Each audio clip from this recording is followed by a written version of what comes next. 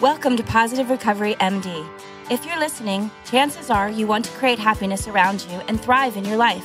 We're glad you're here and you've come to the right place. This podcast will inspire and motivate you to not merely survive your recovery journey, will give you the tools to build or strengthen your foundation to thrive and flourish in your life. Each week, we'll come together as a community to have authentic conversations around addiction, recovery, and what matters growth and progress, not perfection all while developing positive habits for you to utilize in your life. To learn more, please visit positiverecoverymd.com to sign up to receive the daily positive interventions that we'll review, as well as gain access to exclusive positive recovery content available only to Positive Recovery MD listeners. All right, let's get started. Hi, boys and girls, ladies and gentlemen. Welcome to another installment of Positive Recovery MD. We've got three co hosts and a special guest today. So I'm Dr. Jason Powers, one of your co hosts. We have George Joseph. Hey, guys. And Julie DeNova. Hey, hey. And today we have a special guest, Houston icon. Doesn't like being in the spotlight, but we're going to put him in the spotlight for a few minutes here. Jeff Bagwell. Hey, Jeff. Welcome. All right, guys. Thanks for having me. Absolutely, absolutely. You know, I, I, was at the game where the ceremony here in Houston, where they sort of, um, it wasn't the induction to the Hall of Fame, but um, I, I loved your speech, man. I was like right behind first base. I was trying to get your attention. You don't know who I am. And um, you said something like, I, you know, I don't like being in front of the mic. I, I, would want to be out there with you guys. Of course, that would be funny or something. I may fool myself. And I, I get that, dude. It's like, uh, our last guest had this uh, really great outlook on life. Like you either approach life with a hunger or a fear. And if you have a hunger, like that's all you want to do. You want to add to it. It's like going towards something and you, you do more than what's expected. And if you are motivated by fear, you just barely do enough to not get in trouble. And the way that you approach your career so far, and even as a coach after, and I'd love to hear what you're up to now, definitely was, was a hunger. You were offered a scholarship to University of Hartford killed it. You like set records there, and the Boston Red Sox gave you uh, drafted you, but you were you were batting 333, which is pretty damn awesome, but only four home runs. Major League Baseball Hall of Fame website says that your story is so famous, it's a cautionary tale for every big league general manager because we got you for a dream, you know, that we get we got rid of some reliever and we got you who like you got from the first moment you set on the field and by the way, you were a third baseman, happy to play first, but man, you you got rookie of the year. One year you were like unanimous as an MVP, right? Yep. Crazy. Uh, like your the records that he has set is just it's beyond words. And and I'm gonna not gonna go over it because it's he might vomit, but you guys can definitely read about it. So Jeff, thank you so much for coming on. This website has two purposes. One, to offer people hope.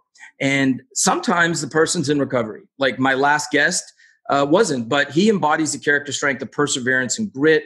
Dr. Kara, I can't wait for that podcast to drop. He's really awesome. Uh, so some people are in recovery, some people aren't, but we like to give people hope, and we also like to give people a tool to flourish in recovery, in life, at work, wherever. So those of our listeners that don't know you, I guess the first thing I would say is I'm I'm Jeff, and I'm an alcoholic. You know, I, I think what you said about hope is a big thing. I think that's a lot of a lot of times that when we're in our disease you kind of lose that. Um, and for me, it was I, I, felt like I had no purpose in life. I, I would I finished my career kind of in 2006, sitting in my living living room at 2:30, going, "What am I doing?" Like I have no purpose. For so long, I had one thing, and that was to play baseball.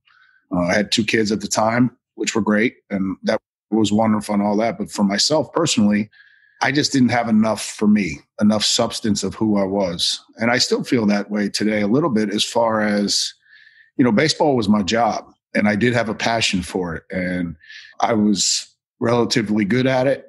But because of, I'm not gifted with, you know, I'm not six 6'2, you know, 220 pounds hitting home runs since I came out of my mother. That just isn't, that wasn't the way it was. I had to use my mind in order to be better than most. And you try and use your mind to realize that you're an alcoholic. It's a uh, it's a really tough thing to wrap your arms around, and it became an obstacle for me. And you know, the constant uh, constant effort of trying to stay sober was very difficult for me because I I was like, you're going to tell me that I, I can't drink like a normal person? I mean, that's ridiculous. I mean, I, I, have hit the best pitchers in baseball. I've done all these kind of things. And, you know, it took me probably seven full years of getting my, you know, face kicked in the dirt every single time to realize that I couldn't. My father, when I was a kid, also used to instill in me, don't ever quit. If you ever do any, if you ever start something, don't ever quit. You know, I worked at Friendly's one time when I was in college for baseball league if there's one thing I should have quit, that was being a dishwasher at Friendly's. That was horrible. but I didn't because my dad said that. So here I come after I'm finished playing and I'm in my addiction and I'm looking at it as I'm quitting. And it wasn't until finally that I realized that you're surrendering to win, not surrendering to lose. And that's a win. And it took a long time for me to realize that. So, you know, part of part of my recovery was getting over myself and my thing that I was losing when in the end I've won you know that's that is common amongst athletes and i, I do have a, I have a lot of athletes that that i see I'm, I'm one of the nba addiction docs and it's a it's a huge problem also some olympic athletes and their careers over at 20 21 22 and all of a sudden the thing that gave them drive that got them up in the morning single minded where everything made sense where you found flow right where you were in the zone so to speak is gone and you know you have loving people around you, have a family you have you have a great mind, but that, yeah, you do need to reinvent yourself. I mean, one of the that's one of the main things I do when I work with with these players is meaning and purpose. And like you you express some great vulnerability there, which is probably a new thing too, because you know, tough guys we don't talk about our feelings, but George has it, Julie has it, I have it. I know you know a lot of you know men and women in recovery. Like we do, we're imperfect, you know, and there's times where we have crises. Like, is this really all there is, or you know what am i doing with my life and and i and i think that's great that you admit that you can admit that it is and it's it's you know we're we're placed on this earth for for a reason uh, i believe that and i i do believe that god put me here with the ability to play baseball that's one thing but that was not what my intention was for him his intention was for me to i guess to be an alcoholic and to try and help others and to, to show other people that this is real it doesn't matter what my Hall of Fame stats are. It doesn't matter. It doesn't matter. I'm still as vulnerable as any, anyone to this disease, and and that's what I want to tell you. It's okay, and there is hope, and there is hope that we can recover from this. You know, everybody always goes back to like if you have cancer, you get that treated. Um, you can do all that, but sometimes you you die. You know, even with the treatment. Right. At least with with alcoholism or addiction, if we treat this and get sober, we have a chance to live a great life. And it's what a gift that is for all the stuff that I put my body through, what would I put my family through, that I still got a chance by making a living amend every single day to go out and be the best possible person I can be. Dude, that's awesome. George, don't you love his his fire, his passion? Like, yeah, I mean, like you got it. You got it. you didn't always get it. You know, there are times in and out of recovery where it's like, damn, that guy is so awesome, sober. you know, it's like if only he knew that about himself, right? But you know, I've seen Jeff over those seven years, and what's been a blessing and a joy for me is to see his desire to help others and his willingness to get out of his own way. And uh, it's been a beautiful uh, transformation. You know, it's like I think when you have success in certain areas and then you're humbled by this disease, it's hard to let go. I mean, like, shit, I've been successful in other areas. Why can't I be successful in this? And and to realize, like you said, to surrender to win, to make a difference, not only in your life, but man, the lives of everybody around you change because we're different people. And man, people love that. It's like I talk to Jeff, but I never talk to him about baseball because it's not important to me. It's more important to what he who he is. But I obviously I know who he is from baseball aspects, but anytime I've dealt with anybody that's been a celebrity or a sports figure, I want them to be comfortable to not talk about what everybody wants to talk to them about, or you know, whatever. It's like the first time we ever had an NFL football quarterback that was going to come to our rehab center. Man, the news was in the parking lot waiting for him. You know, it's like, and I had to talk to the people that were there, and I said, "Do you want to help somebody? Then I don't want you to ever talk about his career until he brings it up." I want you to talk about his alcoholism and about him as a person. That's if you want to care about him. If you want to hurt him, talk about that first and you'll you'll lose his ability to be real and to be human and to make a difference in his life treat him like you treat anybody that walks in this door. Treat him unconditionally. And so it was a great learning lesson. I've had to fire people because they want to go ask for an autograph you know and i was like that's not while they're here or their family members celebrity and they you know they they just don't think of how, the impact that that's not why we're dealing with life and death and so to see jeff make it to this point and now to make a difference like yesterday he was the uh, chairman or the uh, I forgot what do we what do we call you the host of the Archway Academy golf tournament. a lot of things. it, wasn't friendly. He was a host, but it wasn't friendly. So he he you know just being a part of that tournament made a difference for people that were there. I mean, it is like, wow, Jeff's Jeff's signing off on this. So my recovery, my being involved with Archways, making a difference, and and they feel good about it. And that's what, to me, a celebrity or a person of any kind of success, if they can be sober, they have a larger microphone than maybe the guy who's just a you know off the street alcoholic that may not have had a career. But more importantly, we have to treat them humanly, and that right. they're not above us or below us. And that and Jeff's always been that way. In fact, I think Jeff's so humble when he shares that his his knowledge is so strong that people go like like it's almost like I don't know if y'all too young for E.F. Hutton, but they used to have this commercial called no. E.F. Hutton where when E.F. Hutton talks, everybody stops and listens, and that's how that's how it is when Jeff shares. So thank you, Jeff, for being here and being willing to to talk about you know recovery and how it's affected your life. Well, I appreciate that, and, and you know, George, I, I make an effort when I share in meetings. I try never to talk about what I did for a living. You know, most people know what I did for a living. I try not to bring that up unless it's something that's very valuable for the mm-hmm. conversation. Mm-hmm. But I'll tell you what what the gift of it at times. I remember being in a Saturday post oak meeting at 8:30 and I I left and there's a kid in the in the room and he comes up to me he goes, "Oh my god." He goes, "What are you doing here, Jeff?"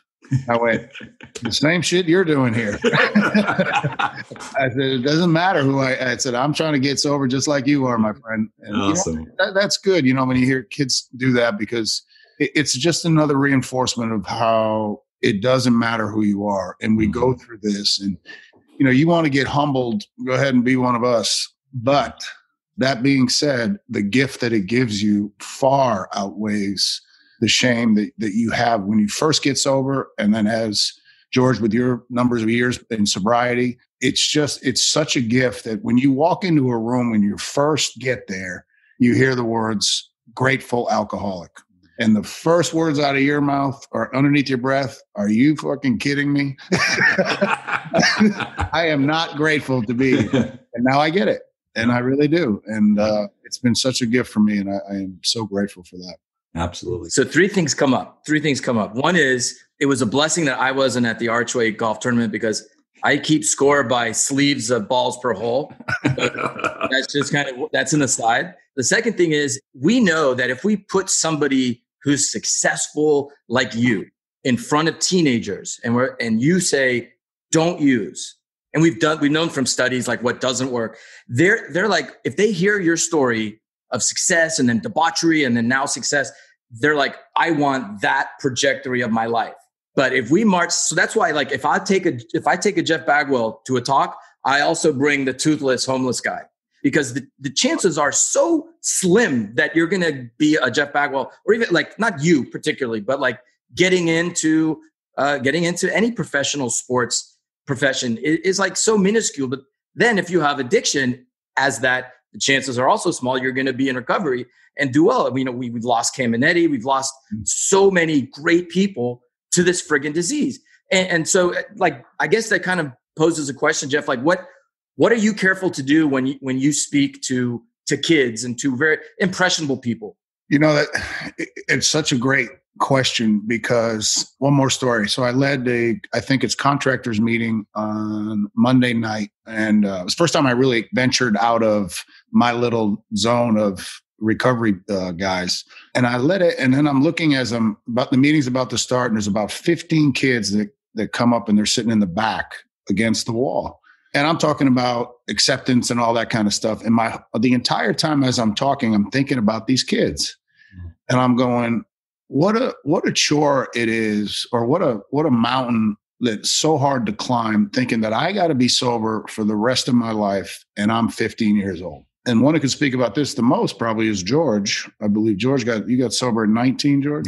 19, yeah. Yeah. So I'm looking say say it's George, and I'm sitting there going, how the heck do you get? How do you how do you wrap your mind around this? At 42, when I started this, I couldn't wrap myself around it then. And I've already done a whole bunch of stuff. Um, imagine that young. So I asked a few people around the program, men that I respect, I said, I kept going, what do I say to these kids? I know they know who I am, and some of them don't because they're 15. I mean, I retired 15 years ago. but I'm sitting there going, what, what is the first thing I say? And the, I think what I've come up with with me is I kind of look at them and go, how's your life right now? How's it going for you? and to a T, every one of these kids says, man, it's horrible. And I remember I called on two kids at the end just because I couldn't help myself. And we talk about one day at a time and all that. And this kid goes, you know, Jeff, it's more like 10 minutes at a time, hmm. 30 minutes at a time. And it just blew my doors off. And I'm like, damn, you know, what, what, what can we do? Now, we talked about Archway. Archway is a chance for kids to have a regular life in an atmosphere of school with other people in the same program that hopefully will keep them sober for the rest of their lives, or at least they get them understand where their life can go if we don't do this stuff. And that's another impactful thing to see how many kids in Archway, you know, have tried to kill themselves. And, you know, that's real stuff for kids. And damn, man, I'm 52 years old now. And I'm like, I'm thinking, what if somebody told me this when I was 18 years old, 17 years old? Like, dude, you got a real bad problem. You know, you're either going to go to jail or you got to go to rehab. It could be court ordered or whatever it is. What a challenge it must be for them. And, and I think for for me and everybody in the community, all we want to do is help because nobody wants anybody else to have to go through something like we've gone through already, and especially young kids. Because what a challenge! I mean, we it's hard enough for us. Never mind somebody that young. So I mean, that's very important to me with the kids, and that's why the kids are very important to me in this program. Hey Jeff, how was your life today? It's absolutely it's wonderful. But that being said, as we say, my my life is wonderful. That's another thing. Life still goes on. Yep. You know, I got five kids. You know how my life is. George got six. we got problems all over the place. We got problems. but isn't it? But isn't it amazing though that you can actually be the adult in the room now? Mm-hmm. When I when I was more or less the drunk or the child in the room. Mm-hmm. Um, so my life, you know, and I t- this is my my big statement about that is if the way my life is now and the person that I think I am, if the only way that that I can have what I have now is to give up drinking, I can do that. Or at least I could try. And then, you know, I'm doing my best I can right now. But that that's worth the that's worth the sacrifice if you consider that a sacrifice, just to not drink anymore. Yeah. So what what came up for me also, the third thing to actually just maybe piggyback on it was Eric Clapton's in recovery. And you know, know that story. So he, yeah, he, Clapton is God was written on graffiti and he sells out. He's amazing. And he said, like, you know, I've sold out Wembley Stadium, but the most powerful I've ever felt when I was on my knees saying, hello, my name is Eric and I'm an alcoholic. And, yeah. and I heard you say that sentiment exactly. Yeah. So it's, it's just like we're, you know, we all put on our pants the same way. Some of us pants, they're like, you know, a little bit longer than people like me, but so what? You know, we, we got today. You know what the thing that's so wonderful though, and I know like when you meet somebody in recovery, somebody you never met before ever, automatically you become brothers. You know, I mean, it's just the most amazing feeling because we know what it's like to go through crap. And it's it's such a beautiful thing. And you know, I was laughing to myself in my Hall of Fame speech. I said, I would wonder if in my speech, if I went, thank you, thank you. Hey, I'm Jeff. I'm an alcoholic. And I would die to have seen, listen to hear, hey, Jeff. You know what I mean? I, am sorry, but I didn't have the nuts to do that. you would have heard some people say yeah, that. Sure. I, I just, it's just, it's amazing just the brotherhood and, and I'll say brotherhood. I'll, I'll say, you know, what do you call it, George? Tell me. Fellowship. Fellowship. Fellowship. I was going to say bias to the women. yeah, I know. I'm trying not to because women are a big part of my life too, and yeah. especially having four girls, they've really helped me out with a lot of that. what do you do to keep yourself busy? Like, what's your what's your day like? I'm waiting for these ungrateful kids to come home here in a second, and then uh, I do do some stuff with the Astros, which is very nice, and you know they know they know what I am and um, which is which is a blessing. Uh, my owner is very versed in addiction, alcoholic community, so he he understands it. Um, but been, it's wonderful. And it's, they've given me an opportunity to come back into the organization and, and start to make a difference in what we're trying to do. So that, that's a big part of my life. And, you know, I tell, I laugh, I say, you know, there's only a few things I'm, two things I'm good at. And this, I said, uh, I'm good at baseball and I'm really good at screwing up. so I try and, I try and stay the other, the other way with the uh, good in baseball. All right. And uh, this is a lightning round. So I'm going to ask you 10 questions. I want you just to, whatever pops in your head. What is your favorite word? Grateful. What's your least favorite word? Word, one word. Can I? Uh, it's usually a question from my kids. Uh, I don't know. I don't know that one. Go ahead, give me another one. Yeah, you, you've met my three kids. I need, I want, and I have to have. exactly. I just got one before I got on. so, what what revs you up the most? Kids. What turns you off the most? Players. What sound or noise do you love? My wife's voice. What sound or noise do you hate? My voice. Whiny kids. Dude, I'm so with you. I won't even listen to this podcast. I don't, I hate my voice too. What's your favorite curse word? See, uh, that, see, that was part of the ones I was going to say earlier. So I'm not. I probably say the mo- most. I probably say shit. So dropping the s bomb. Uh, yeah, yeah. I mean, I say a bunch. I'm awful.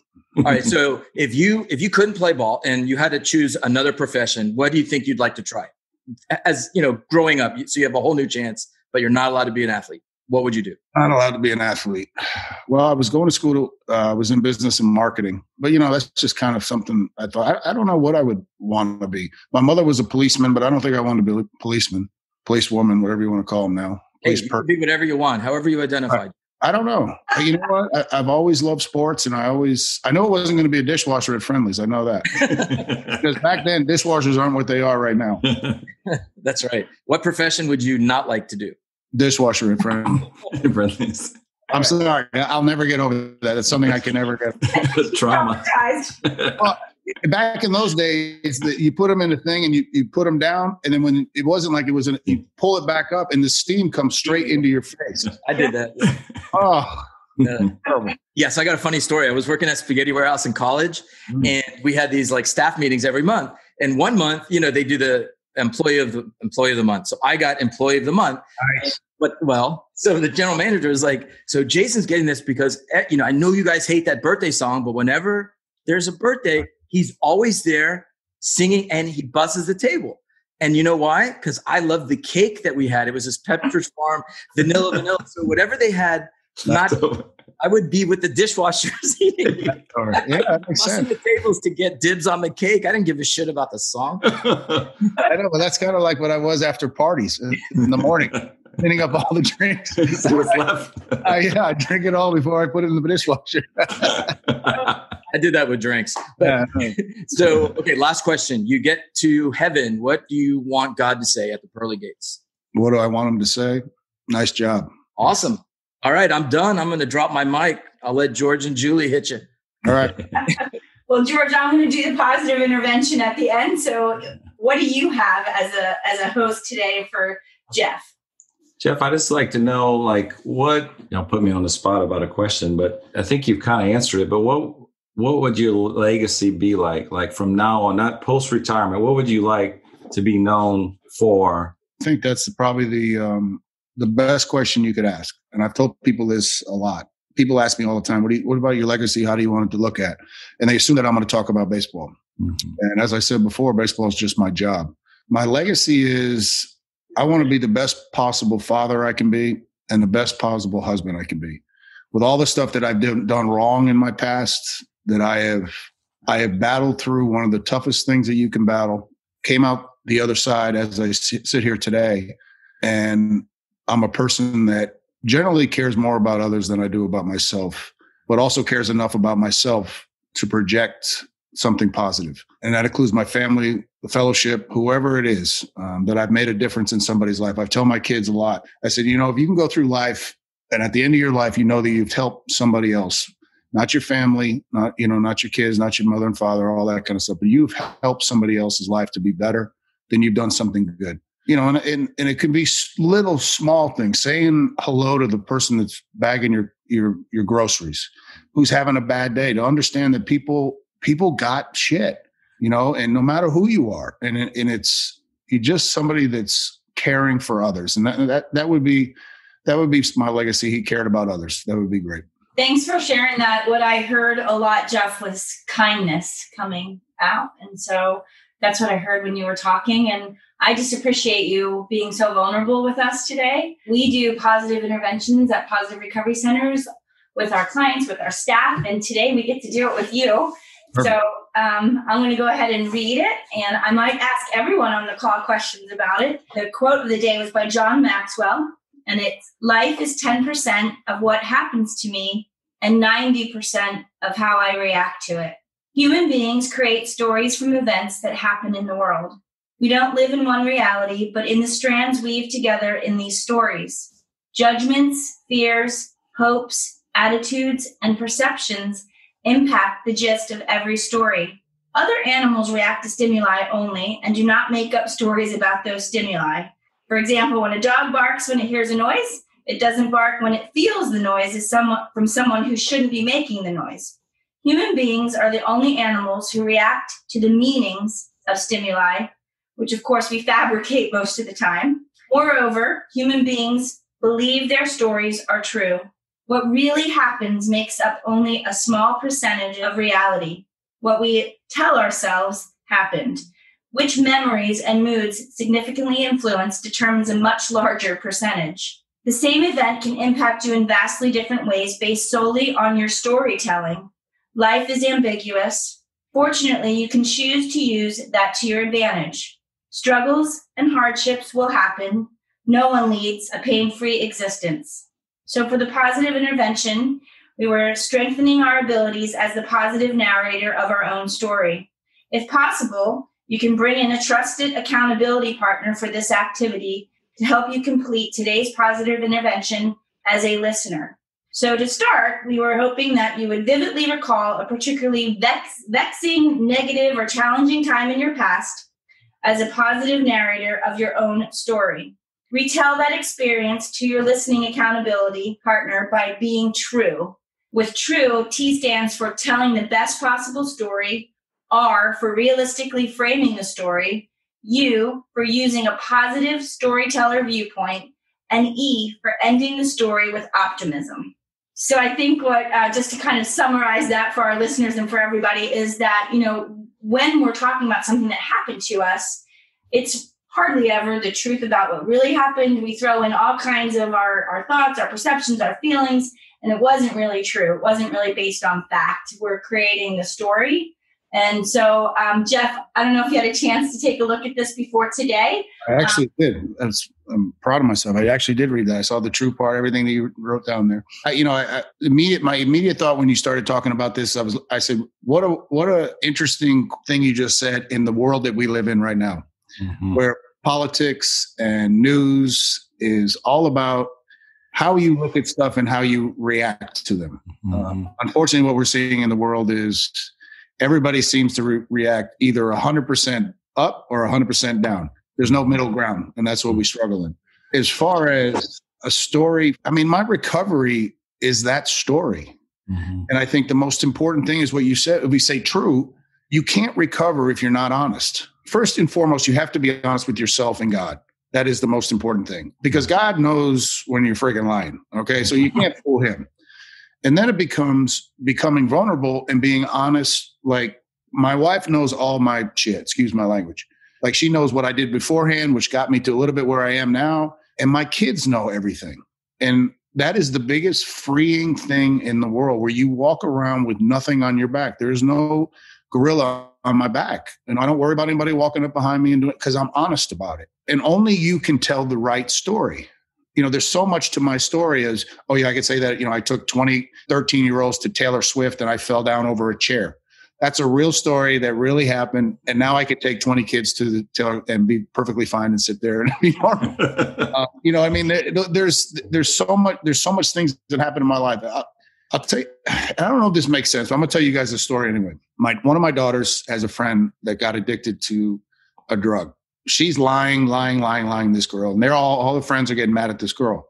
And so I sat her down, and she's they're like, "Oh, I'm done with her. We're all done with her." And I said, "Okay, listen." So I sit her down and I said, "Hey, here's the deal. Do you remember looking at your father for those seven years?" not the three years that I've been sober, but the seven years. Do you remember looking at? And I came out of this. I said, "You of anybody know more than than anyone here because you've lived this. Here's your options. You either forget you ever known her or show her love and know that that's not her, and that will dictate her outcome as well as yours." Mm-hmm. And those stuff like that, to be honest, and let her to understand those kind of things, generally is going to give a good reaction to it. Mm-hmm. And she's going to make that adjustment saying, Hey man, this is not who she is. She's just addicted to this stuff. So we got to help her. I don't know if that, that that makes sense in the content, but but what I'm saying is if you be honest and you tell people the real truth and let them decide on which way to go, generally I believe people will go the right way.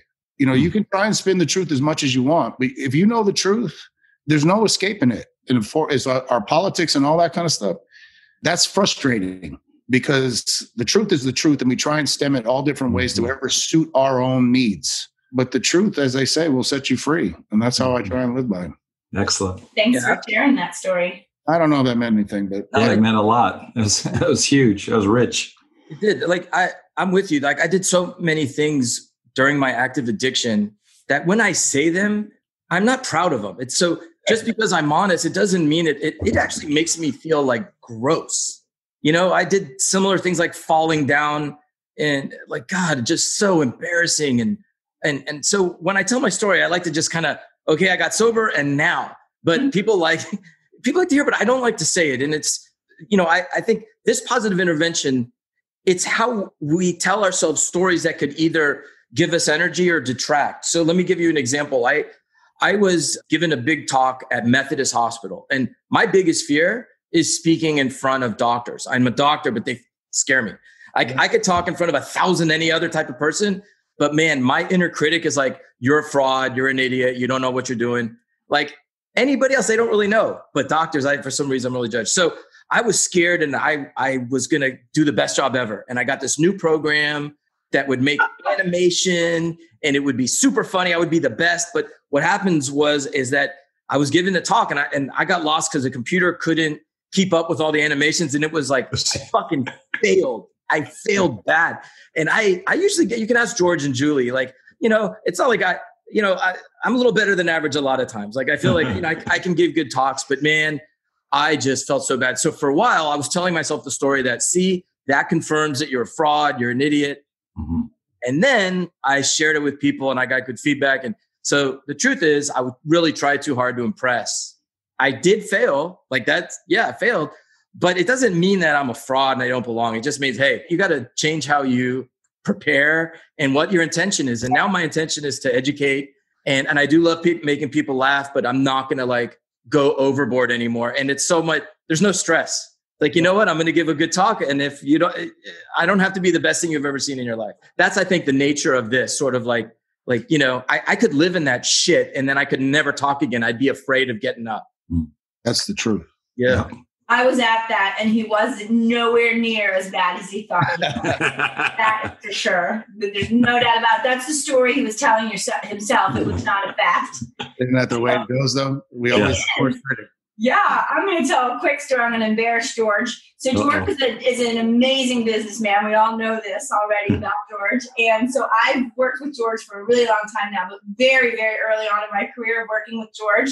And he probably won't even remember the story, but we had just opened up a treatment center out in the hill country, and I was driving back and forth, and I got really tired on the drive back. So I was like, I'm so tired, I have to pull over. I want to, I can't make it all the way back to Houston because I even live an hour further than Houston. So I'm like, cool, I'm gonna stay at a hotel. And I'm like, but I'm gonna have to expense this. And I'm not really sure what he's gonna say about me pulling over. Like, you should have been able to make it home. so I stayed at a relatively inexpensive, like I think it was like a Motel 6 even, and I'm blushing now for the story that I told myself. Okay. So stayed at the hotel, slept, got up probably at like five o'clock so I could make it to work on time. You know, I didn't say anything. I put in my expense report. A week went by and George calls me to his office. And um, the whole way over, I had to walk to the green building, is what we refer to it at. And I'm like, if he says about me expensing that stupid Motel 6, I'm going to be pissed. And oh my God, I can't believe he's going to call me out on this. And I was brought to his office to talk about my hotel. And what George said to me is, Julie, when you're traveling, please don't stay in a Motel 6 because I don't feel like that's safe for you. because the doors are from the outside in. Stay in a hotel that you have to go up an elevator in. And I was trying to save the company money, which I probably didn't need to do. But I had made up this story walking over that I was going to give him a rash of shit if he ever told me anything about that hotel. And instead, we do. It was beautiful what he said, and that was take care of yourself and be safe. And so, yeah, wow, thank God. I was thinking I did confront her. I'm glad I said that. Punchline. yeah. But those are the stories we create stories all the time, and we forget what the facts are or, hmm. or we do that. And our clients, our patients here at Positive Recovery do that also. And so it's, and they, they do it in the rooms. And so it's guys like you that help people say, wait a minute, is that what really happened?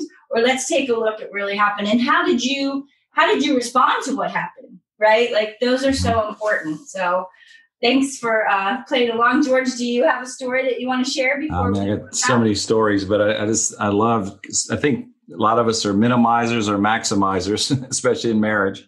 And so you got to figure out what the middle is and what reality is. Now, my story is kind of back what you were talking about. So early in my career, our turnover was high and, you know, the culture wasn't what I'd want it to be, you know, and then we got this great book, Delivering Happiness, that led to Dr. Parr's creating positive recovery and the culture change. Was one best place to work. But for a long time before I got that award, even when it was doing better, I still felt like, man, I'm not good at this. I'm I'm not good at creating culture and mission statement and all that stuff. And then it's like so weird because once I got the award, it's like that whole pressure on my shoulders went away. And, and then I, I think I've done a better job creating culture because I wasn't so worried about it. Kind of like you with your speech, you know, that you Julie said was great, but in your mind, you're like, God, what a dumbass. Why did I do focus on human resource better or you know, come up with the value statements or mission statements and all those things. So that was my story is like how to reframe that. Yes, I am a good leader and I've done the best I could even back then when I didn't know what I was necessarily doing like I do now. So thank you. Yeah, man, you, you were, I, I'd follow you anywhere. You know that. Oh, thank you, man. Yeah, it's great working for you. And so Jeff, the, uh, that intervention you got came out of this book, which we're going to send you. But yeah, thank you so much for taking the time and, and, my pleasure being present with us and being an example for others. Yes, absolutely. Thank you, Jeff. How you guys got it. Appreciate so it so much. All right, signing off. Thank you guys. Until next time. Thank you for listening to this episode of Positive Recovery MD. Don't forget to visit positiverecoverymd.com to sign up to get your daily positive intervention sent straight to your inbox. Be sure to subscribe to Positive Recovery MD on Apple Podcasts or wherever you listen to your podcasts to receive an automatic download when a new episode drops. And as always, if you or someone you know needs help, visit positiverecovery.com or call 877 4 Sobriety, which is 877 476 2743. We are here to help.